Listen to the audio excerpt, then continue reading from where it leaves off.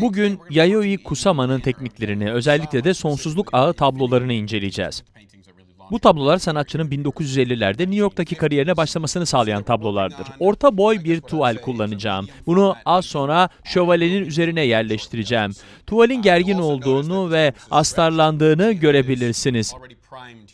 Kusama her zaman olmasa da genel olarak astarlanmış tuvaller kullanırdı. Bu derste gördüğümüz tüm diğer resimler gibi Kusama da sonsuzluk ağı tablolarını tek bir şekilde yapmıyordu. Martin'in ağlı kompozisyonları da tek bir şekilde yapılmamıştı. Öyle değil mi? Hatırlıyor musunuz? Bu videoda tek bir yaklaşımı inceleyeceğiz ama sizin bu yaklaşımı geliştirip yeni şeyler denemeniz konusunda cesur olmanızı bekliyorum. Hadi bakalım. Öncelikle bir taban katmanı oluşturması için tuvali seçtiğimiz bir renkle boyayacağız. Kurumasını bekleyip üzerine fırça darbe darbeleri uygulayacağız. Bu arada zamanımız kısıtlı olduğu için eminim siz de aynı durumdasınızdır. İlk katmanı akrilik emülsiyon boyasıyla boyayacağım. Yağlı boyayla çalışıp düz bir yağlı boya katmanı uygulayabiliriz ama o zaman bu katmanın kuruması için bir hafta beklememiz gerekir. Şimdi kullanacağım boya ise suda çözünen bir boya. Kuruması için saç kurutma makinesi kullanılabilir ve bu şekilde daha hızlı sonuç alabiliriz. Üstüne gelecek katmanda ise yağlı boyaya geçeceğim. Bu arada tam bu noktada önemli bir ayrıntıya parmak basmalıyım. Akrilik üzerine yağlı boya çalışabilir kullanabilirsiniz ama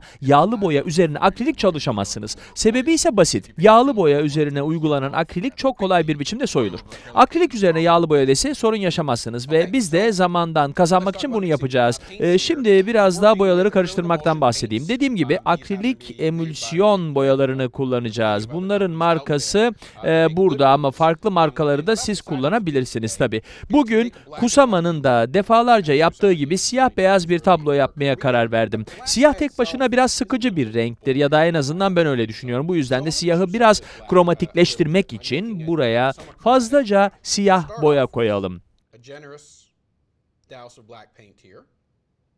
Üzerine de daha sıcak bir renk olan kırmızı ombradan koymak istiyorum.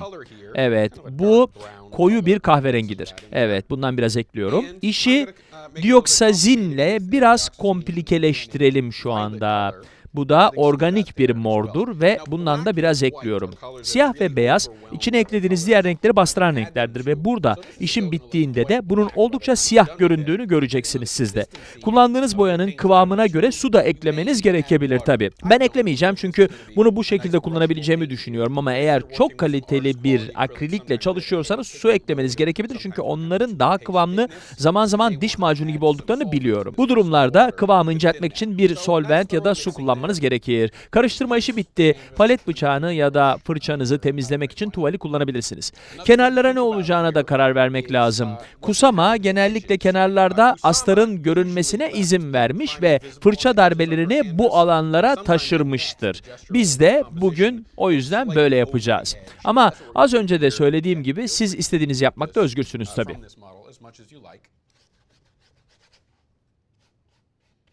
Şu an yaptığım şey tuvale gesso olarak bilinen malzemeyi uygulamaya çok benziyor. Bu boyayı hızlı ve yoğun fırça darbeleriyle çok ince bir şekilde uygulayacağım. Geriye beyaz bir alan kalmaması için dikkatli olmamız ve boyayı tuvale iyice yedirmemiz lazım. Boyayı mümkün olduğu kadar dağıtıyorum ki geriye pürüzlü bir doku kalmasın.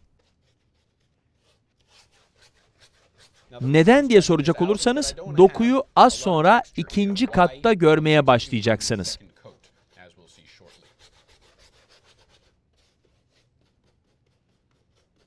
Burada çalışma şeklinize bağlı olarak kenarları maskeleme bandıyla çevreleyip kullandığınız koyu mor kahverengi renk ile keskin bir geçiş elde edebilirsiniz. Mor siyah renk dersem daha doğru olacak sanırım. İşte bu renk. Evet, bu sayede kenarlardaki astarlaşmış zemin iyice öne çıkar. Bu tamamen estetik bir karardır ve tablonun yapısıyla bir alakası yoktur. Tamamen nasıl göründüğüyle alakalı bir tercih. Evet, bu güzel mor siyah rengi hızlıca fırçalıyorum. Tuvale bastırmadan çok hafif bir hareketle fırça darbelerinin görünmemesi için yüzeyi pürüzsüzleştirmeye çalışıyorum. Akrilik emülsiyon boyalar suda çözünen boyalardır. Çok ince bir kat uyguladık. Onun için çok çabuk kuruyacaktır. Yaklaşık olarak bir saat beklemenin yeterli olacağını düşünüyorum. Eğer aceleniz varsa tabii saç kurutma makinesinden de yardım isteyebilirsiniz her zaman. Bu kat tamamen kurudu şimdi. Bir miktar zımpara yapabiliriz artık. Evet. Nedenini söylemeden önce zımpara yapacağınız zaman boyanın tamamen kurumuş olduğundan emin olmalısınız. Önce bunu söyleyeyim. Çünkü eğer ıslaksa etrafa bulaşabilir ve elde ettiğiniz dokuya zarar verebilirsiniz. Elimde orta irilikte pürüzleri olan bir zımpara kağıdı var. Ee, zaten siz de daha kuvvetlisini kullanmayın sakın. Zımpara yapmamın iki sebebi var arkadaşlar. Birincisi, yüzeyde mat bir görüntü elde etmek istiyorum. Yüzey parlak olduğu için ışığın şu anda nasıl buradan yansıdığını siz de görüyorsunuz. Aslına bakarsanız en üstte uygulayacağım boya da son derece parlak olacak ve bunun için yüzeyi zımparalayarak mat ve parlak arasında göze çarpacak bir geçiş yakalamak istiyorum. Az sonra süreceğim boyayı dengelemesi için yüzeyi biraz zımparalamamız gerekecek. İşte bu şekilde zımparalayacağız. Zımparalamamın ikinci sebebine gelince bakın tuvalin beyazının yeniden ortaya çıktığını görüyorsunuz öyle değil mi? Zımparalayarak akrilik boyayı yerinden söküyor ve dümdüz bir yüzey yerine biraz daha hareketli bir görünüm elde ediyorum. Bu arada çok hafif bir biçimde zımparalıyorum. Bunu da belirteyim. Küçük bir hatırlatma, zımparayı sakın çok sert bir şekilde uygulamayın. Özellikle de kenarlarda. Neden diye soracak olursanız tuvalin hemen bakın tersini çevirdim. Kenarlarda gerdirici latalar var ve eğer bunların üzerini çok sert bir şekilde zımparalarsam kenarlarda göze pek de hoş görünmeyen beyaz bir çizgi elde ederim arkadaşlar. Bu beyaz çizgi neredeyse bir çerçeveye benzer ve tablonun bütünlüğünü bozar. Hafif hafif zımparalıyoruz, evet.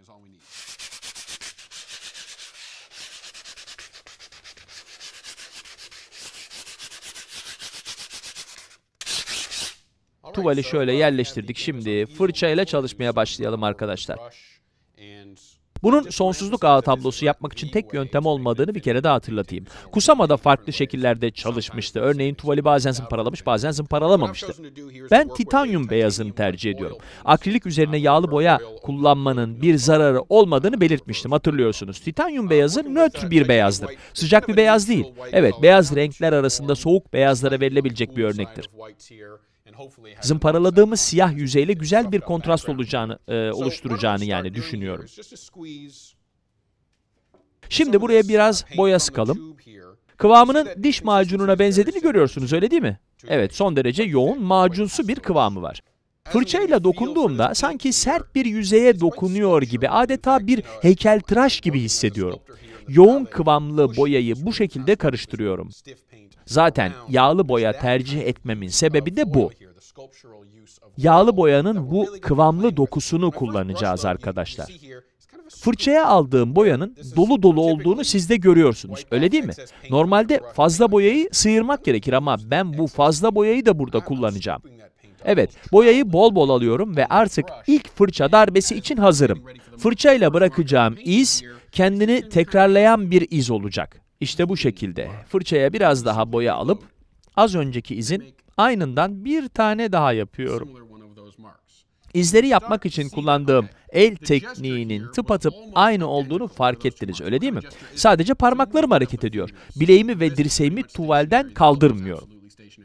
Fırça ile bıraktığım izler tamamen aynı olmuyorlar tabi. Bunların birbirlerinin kuzenleri olduklarını söyleyebiliriz. Ama kullandığım el hareketi aynı el hareketi. Parmaklarımın eğrisini takip edip baş parmak ekleminden yardım alıyorum.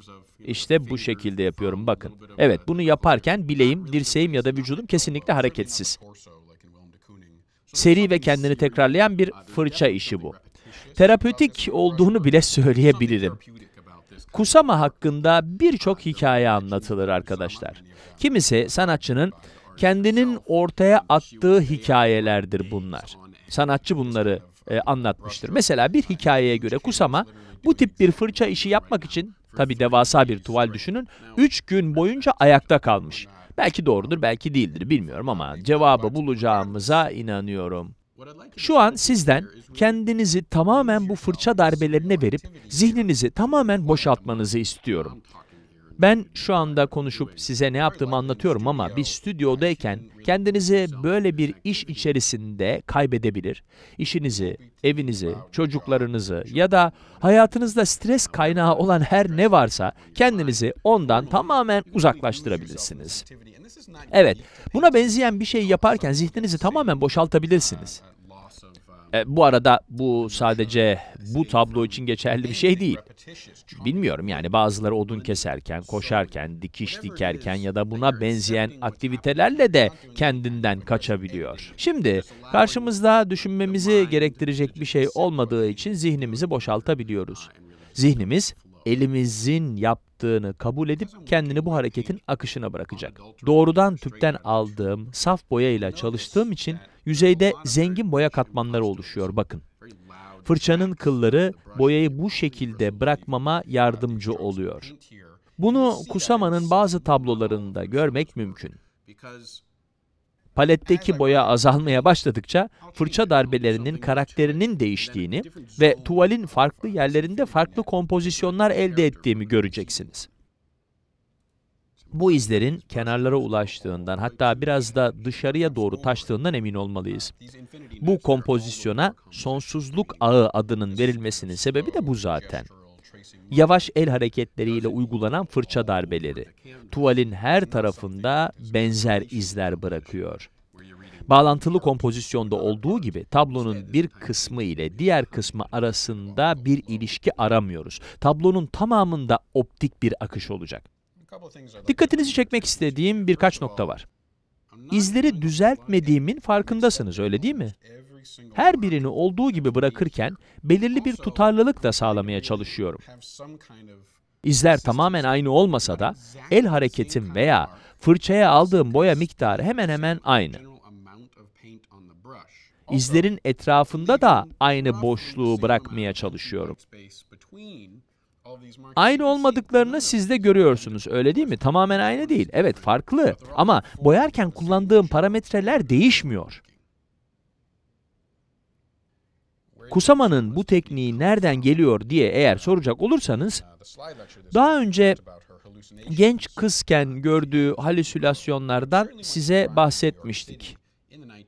Hatırlarsınız bunu. 1950'lerde New York'a geldiğinde erkekler tarafından domine edilmiş sanat dünyasında Japon bir kadın olarak gerçekten de çok fazla şansı yoktu arkadaşlar. Ama Kusama etrafındaki sanatçıları doğru bir biçimde incelemeyi başarmış.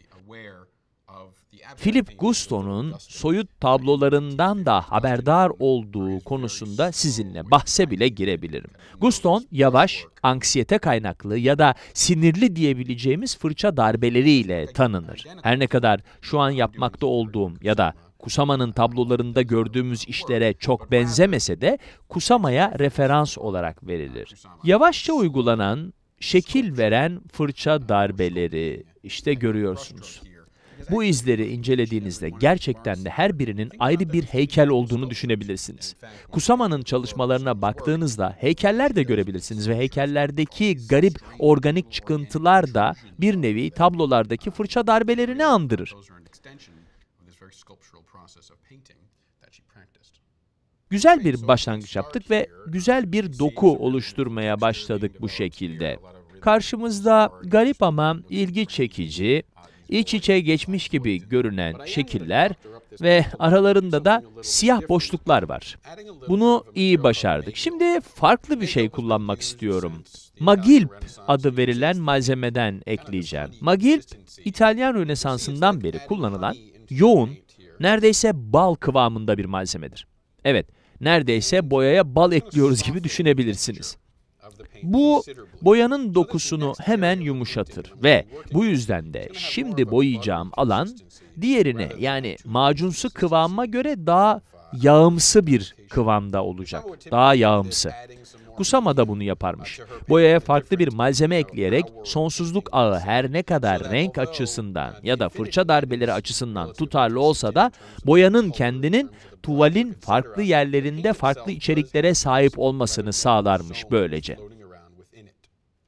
Stüdyoda çalışırken boyanıza benim gibi magil ya da mesela Venedik terebentini eklediğinizde belki de bezir yağı gibi bağlayıcı bir madde ekleyeceksiniz, siz bilirsiniz. Evet, bunu yaptığınızda el hareketinizin değiştiğini fark edebilirsiniz.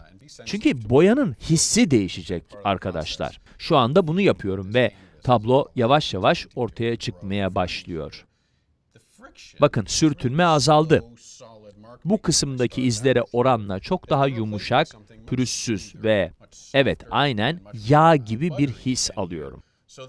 Eliniz de bunu biliyor ve ustalaşmaya başladığınızda boyayı gördüğünüzde nasıl bir his verdiğini de hemen anlamaya başlayacaksınız. Bu kendiliğinden gelecek. Bu müzelere ya da galerilere gittiğinizde de size yardımcı olacak ve sanatçıların, özellikle de bu şekilde ince el hareketleriyle çalışan sanatçıların, sanatlarını, vücutlarının harekete verdiği tepkilerle yaptıklarını anlayacaksınız. Neredeyse malzemelerini de vücutlarının farklı hareketlerine göre hazırladıklarını da anlayacaksınız. Elim yine az önceki gibi hareket ediyor ama boyanın verdiği his ve görüntüsü gerçekten çok farklı. Zaten elde etmek istediğimiz şey de bu.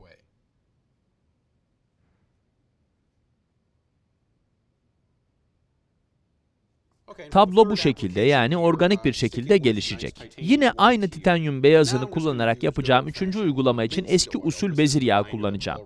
Bu zaten boyanın içinde olan bağlayıcı malzeme. Göz kararı bir miktar bezir yağı buraya döküyorum. Tamamen karışması için uğraşmayacağım. Çünkü fırça darbelerimin birbirlerinden farklı olmalarını istiyorum. Evet, bu kadar yeterli. Heterojen, tam olarak karışmamış, biraz sümüğe benzeyen bir kıvam elde ettim. Bu heterojenliğin yanında elimin farklı bir geometrisinden de faydalanmak istiyorum. Şu ana kadar yaptıklarım, sağ elini kullanan birinin yapacağı gibi şeyler. Yani bu açıdan düşünüldüğünde aslında son derece mantıklı. Bu şekilde parmaklar ve eklemleri kullanarak işte. Ama bunun tüm tabloda bu şekilde olmasını istemiyorum. Sol elimle boyamak yerine isterseniz bunu da yapabilirsiniz. Tuvalin duruşunu değiştireceğim arkadaşlar ve bunu birkaç defa yapacağım. Bu tuvali kaplayacak olan ağın üyelerinin birbirinden farklı olmalarını sağlayacak değişkenlerden biri. Ve şimdi aynen diğerlerinde olduğu gibi boyayı aynı el hareketiyle uygulamaya burada devam edeceğim. Ama görüyor musunuz? Boya tamamen karışmadığı için fırçamdan düştü. Pütürcüklü ve akışkan bir kıvamda ama bunu da kabul edeceğim arkadaşlar. Çünkü aslında bu tam istediğim şey. Bence siz de bunu olduğu gibi kabul edin. Düzeltmeye çalışmayın ve elinizin tuvalin üzerinde lütfen özgürce dolaşmasına da mutlaka izin verin arkadaşlar.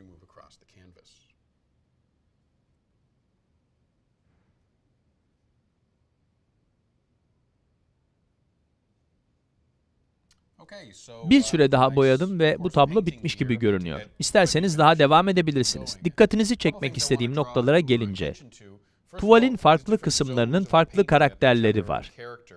Örneğin burada kuru fırça darbeleri var. Fırça darbelerinin sonları tuvalin dokusunu ön plana çıkarıyor. Burada ise daha zengin ve daha kalın bir ağ var. Burada da kıvam daha da yoğun ama doku da bir o kadar ağır. Boya bazı yerlerde çatlamış ve uç kısımları tuvalden dışarıya doğru çıkıntı yapıyor. Tutarlılığı değiştirmekteki amaç, tablonun tek bir kompozisyonu olmasına rağmen sıkıcı olmamasını sağlamak. Gözümüzün ağırlık merkezi olmadığı için, tuvalin üzerinde serbestçe dolaşırken hiçbir şeyin aynı olmadığını görüyor ve nereye hareket ederse etsin, tamamen tatmin edici bir farklılıkla karşılaşıyor böylece. Bu çok önemli bence. Kusama'nın eserleri arasında küçük olanlar bu etkiyi uyandırırken, orta boylu olanlar çevreleriyle uyum sağlıyor. Kusama'nın bazı tabloları bunun kadar yoğun boyanmamıştır. Bazıları bundan çok ince, bazıları da bundan daha yoğundur. Bu yüzden siz de kendi tablonuzda nasıl çalışacağınızı düşünmelisiniz. Az önce devam edebilirsiniz dediğimde Kusama'nın da bazen bu aşamadan sonra bu siyah alanlarla tekrar oynayıp bazılarını renklendirip bazılarını matlaştırdığını ya da parlaklaştırdığını söylemeye çalışıyordum. Karşımızda bir figür ve bir arka plan var ve Kusama da bu figür ve arka plan arasında çok karmaşık bir denge kuruyor. Evet, resim bu haliyle yani siyah beyazken çok basit görünüyor ama elimiz ve gözümüzü tuval üzerinde hareket ettirdiğimiz anda işin aslında ne kadar karmaşık olduğunun farkına varıyoruz.